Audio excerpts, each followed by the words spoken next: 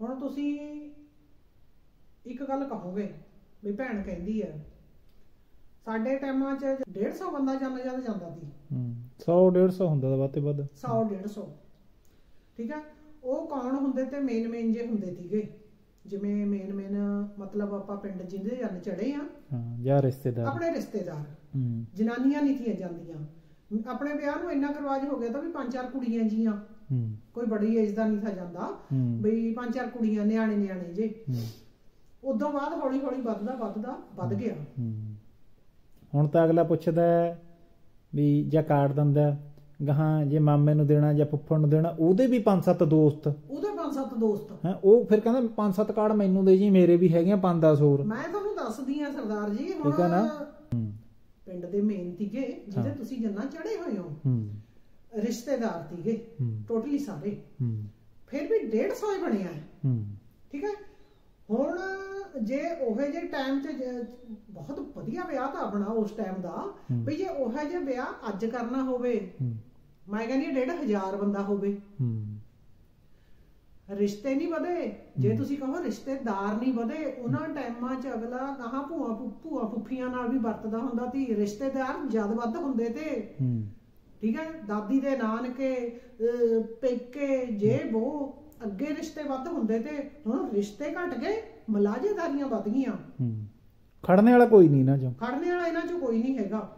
ਅਸੀਂ ਅਸੀਂ ਤਾਂ ਇਦਾਂ ਲੈ ਜੰਨੇ ਆ ਲੋਕਾਂ ਨੂੰ ਜੰਨਾਂ 'ਚ ਜਿਵੇਂ ਦਿਹਾੜੀ ਤੇ ਲੈ ਕੇ ਗਏ ਹੋਏ ਹੁੰਦੇ ਆ।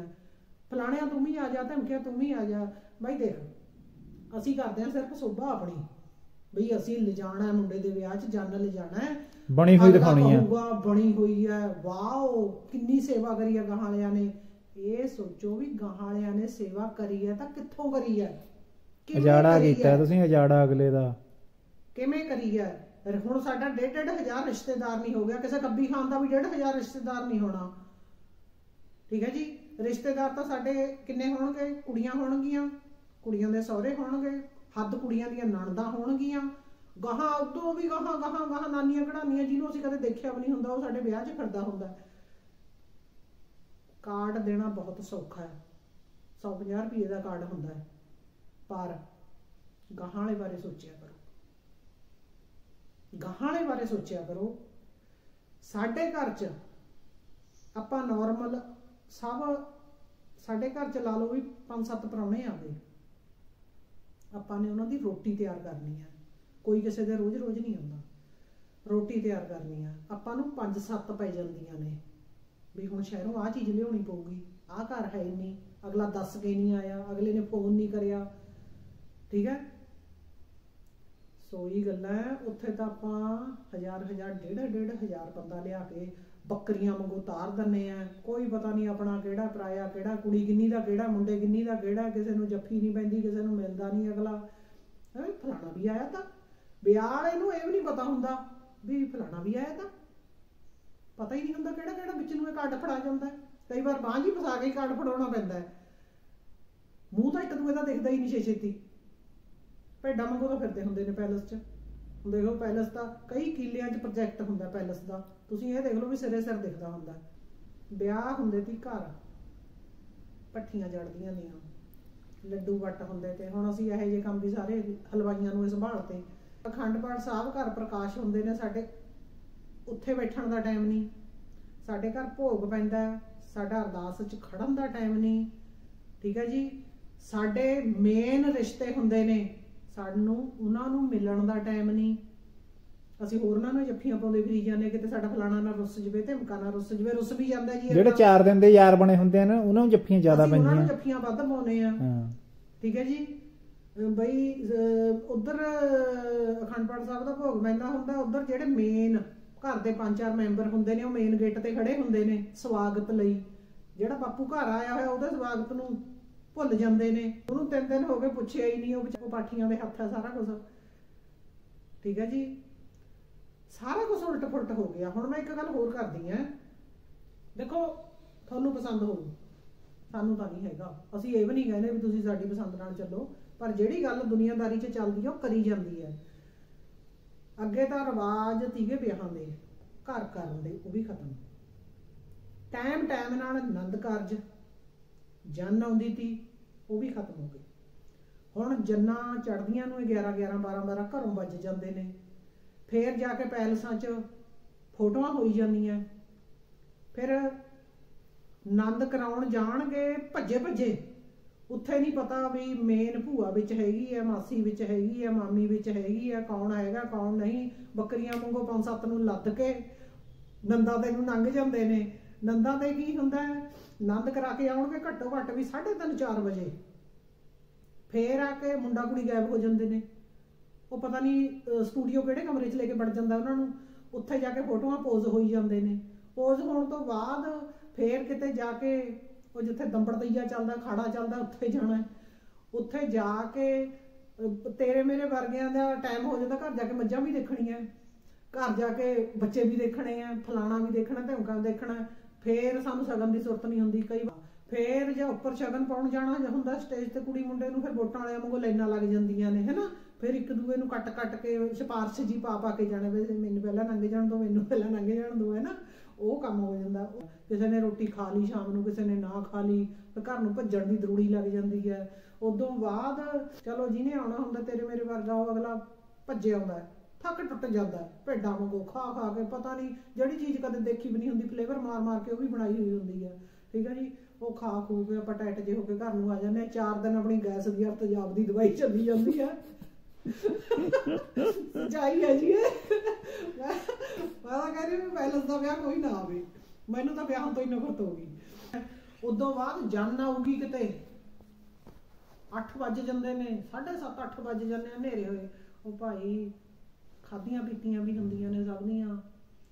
ਨੰਬਰ 2 ਤੇ ਸਾਡਾ ਐਡਾ ਬੜਾ ਪ੍ਰੋਜੈਕਟ ਕਰਿਆ ਹੋਇਆ, ਸਾਡੇ ਬੱਚੇ ਡੋਲੇ ਵਾਲੀ ਕਾਰ ਨੇਰੇ ਹੋਏ ਘਰ ਆਉਂਦੀ ਹੈ। ਕੋਈ ਰਾਹ ਚ 19 ਹੋ ਜਵੇ, ਹੁੰਦੀਆਂ ਵੀ ਨੇ।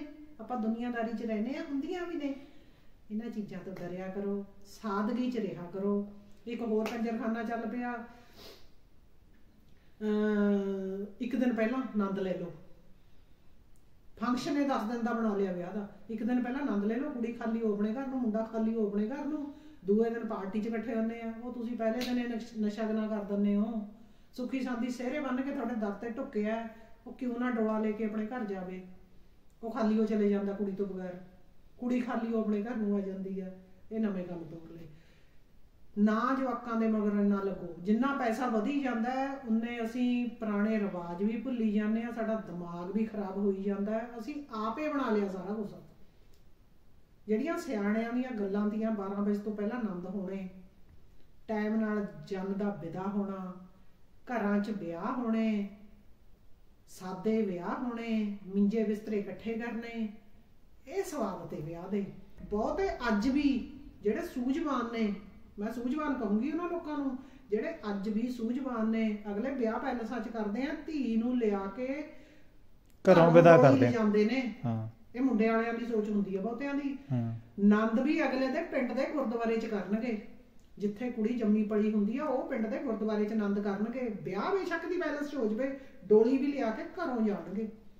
ਇਹ ਸੋਚ ਹੈ ਬਹੁਤੇ ਲੋਕਾਂ ਦੀ। ਠੀਕ ਹੈ ਇਹ ਛੋਸ਼ੇਬਾਜ਼ੀਆਂ ਕੁਝ ਨਹੀਂ ਰੱਖਿਆ ਇਹਨਾਂ 'ਚ। ਕੁਝ ਵੀ ਨਹੀਂ ਰੱਖਿਆ ਇਹਨਾਂ 'ਚ। ਜ਼ੀਰੋ ਰਿਜ਼ਲਟ ਹੈ। ਕੁੰਡਾ ਕਰ ਲੈਨੇ ਆਪਾਂ ਆਪਣਾ। ਅਹੀ ਤੇ ਹੀ ਫੇਰ ਲੈਨੇ ਆਪਾਂ ਆਪਣੀ। ਕੁਝ ਨਹੀਂ ਯਾਰ ਹੈਗਾ। ਸ਼ਾਮ ਨੂੰ ਖਾਲੀ ਜੇ ਹੋ ਕੇ ਘਰ ਨੂੰ ਆ ਜਾਂਦੇ ਆ ਧੀ ਨੂੰ ਤੋੜ ਕੇ। ਹੈ ਕੁਛ? ਉਧਰ ਦੀ ਉਧਰੇ ਰਿਸ਼ਤੇਦਾਰ ਲੰਘ ਜਾਂਦੇ ਨੇ। ਸਭ ਕੁਝ ਉਧਰ ਦੀ ਉਧਰੇ ਹੋ ਜਾਂਦਾ। ਠੀਕ ਹੈ? ਉਧਰ ਦੀ ਉਧਰੇ ਰਿਸ਼ਤੇਦਾਰ ਲੰਘ ਜਾਂਦੇ ਨੇ। ਆਪਾਂ ਖਾਲੀ ਜੇ ਹੋ ਕੇ ਮੇਨ ਮੇਨ ਜੇ ਭੂਆ ਪੁੱਪੀਆਂ ਜੀਆਂ ਜਿਹੜੀਆਂ ਦਾ ਘਰ ਸਰਦਾ ਹੁੰਦਾ ਹੈ, ਉਹ ਬੁੜੀਆਂ ਜੀਆਂ ਵਿਚਾਰੀਆਂ ਪੰਜ ਚਾਰ ਕੁ ਘਰ ਨੂੰ ਅਗਲਾ ਤੋਰ ਦਿੰਦਾ। ਬੇਬੇ ਤੂੰ ਚਲੇ ਜਾ ਘਰ ਨੂੰ ਕੋਈ ਨਹੀਂ ਕੱਲ ਨੂੰ ਆ ਜੀ ਮੁੜਦੀ ਗੱਡੀ ਤੋਂ ਬਾਅਦ। ਅਸੀਂ ਚੱਲਦੇ ਆ ਕੋਈ ਨਹੀਂ ਰਹਿੰਦਾ ਅਗਲੇ ਦੇ ਸ਼ਾਮ ਨੂੰ ਬਸ ਗੁੱਸੇ ਜੇ ਮੂੰਹ ਕਰਕੇ ਘਰ ਨੂੰ ਆ ਜਾਂਦੇ ਆ। ਹੈਂ? ਦੂਏ ਦਿਨ ਹੁੰਦੀ ਆ ਜੈ ਖਾਣੀ ਮੁੜਦੀ ਗੱਡੀ ਦੀ ਤਿਆਰੀ। ਦੂਏ ਦਿਨ ਅਗਲਾ ਲੰਡਰਾ ਬੰਨ ਕੇ ਫੇਰ ਆ ਜਾਂਦਾ। ਲਿਆਉਂਦਾ ਅਗਲਾ 30 40 ਜਣੇ। ਦੂਏ ਦਿਨ ਫੇਰ ਅਗਲੇ ਦੇ ਟੈਂਟ ਲੱਗਦਾ। ਫਿਰ ਉਦੋਂ ਬਾਅਦ ਮਿਲਣੀਆਂ। 6-7 ਦਿਨ ਬਾਅਦ ਮਿਲਣੀਆਂ ਨੂੰ ਆ ਜਾਂਦੇ ਆ 20-50 ਜਣੇ।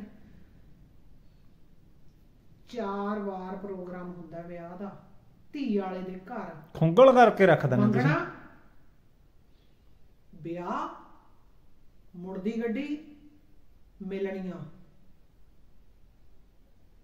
ਜਾਂ ਫਿਰ ਜਵਾਕ ਹੋਣਾ ਹੁਣ ਤਾਂ ਜਵਾਕ ਅੱਗੇ ਜ- ਪਹਿਲੇ ਜਵਾਕ ਦਾ ਰਿਵਾਜ ਤਾਂ ਨਾਨਕਿਆਂ ਦਾ, ਹੁਣ ਤਾਂ ਅਗਲਾ ਤੋਰਦਾ ਹੀ ਨਹੀਂ, ਮੁੰਡੇ ਜਾਣੇ ਨਹੀਂ ਦਿੰਦੇ ਬਹੂਆਂ ਨੂੰ। ਫੇਰ ਆ ਜਾਣਾ। ਪੰਜ ਚਾਰ ਗੱਡੀਆਂ ਫੇਰ ਆਉਣਗੀਆਂ। ਭਾਈ ਜਿਹੜੇ ਤਾਂ ਹੈਗੇ ਆ ਗੰਜੈਸਾਂ 'ਚ। ਉਹ ਤਾਂ ਝੇਲ ਲੈਂਦੇ ਨੇ ਉਹਨਾਂ ਦੇ ਤਾਂ ਚੋਹਲ ਮੋਹਲ ਆ ਗਰੀਬ ਦੀ। ਗਰੀਬ ਦੀ ਕਬਸਤੀ ਹੈ ਜਿਹੜੇ ਨਾਰਮਲ ਨੇ ਵਿਚਾਰੇ ਉਹਨਾਂ ਨੂੰ ਬਹੁਤ ਔਖਾ ਹੈ। ਬਹੁਤ ਔਖਾ ਹੈ। ਇਹਨਾਂ ਚੋਲਾ ਮੋਲਾ ਚੋਂ ਭੋਗਾਂ ਚੋਂ ਵਿਆਹਾਂ ਚੋਂ ਜੇ ਚੋਂ ਬੋ ਚੋਂ ਦਿਖਾਵੇ ਚੋਂ ਬਾਹਰ ਆ ਜਾਓ। ਆਪਾਂ ਚੰਗੇ ਰਹਾਂਗੇ ਮਨ ਨੂੰ ਸ਼ਾਂਤੀ ਰਹੂ। ਕਹਿੰਦੇ ਹੁੰਦੇ ਨੇ ਵੀ ਬਹੁਤੀ ਖੁਸ਼ੀ 'ਚ ਖੁਸ਼ ਨਾ ਹੋ। ਗਮੀ 'ਚ ਬਾਹਲਾ ਗਮ ਨਾ ਕਰੋ। ਨਾਰਮਲ ਜੇ ਰਹੋ। ਉਹਦੇ ਭਾਣੇ 'ਚ ਰਹੋ। ਚਲੋ ਠੀਕ ਹੈ ਜੀ, ਸਾਡੀ ਵੀਡੀਓ ਨੂੰ ਸਬਸਕ੍ਰਾਈਬ ਸ਼ੇਅਰ ਤੇ ਲਾਈਕ ਜ਼ਰੂਰ ਕਰਿਓ। ਕੋਈ ਗਲਤੀ ਹੋ ਗਈ ਹੋਵੇ, ਕੋਈ ਗੱਲ ਗਲਤ ਲੱਗੀ ਹੋਵੇ ਤਾਂ ਜ਼ਰੂਰ ਮਾਫ ਕਰਿਓ। ਸਤਿ ਸ੍ਰੀ ਅਕਾਲ।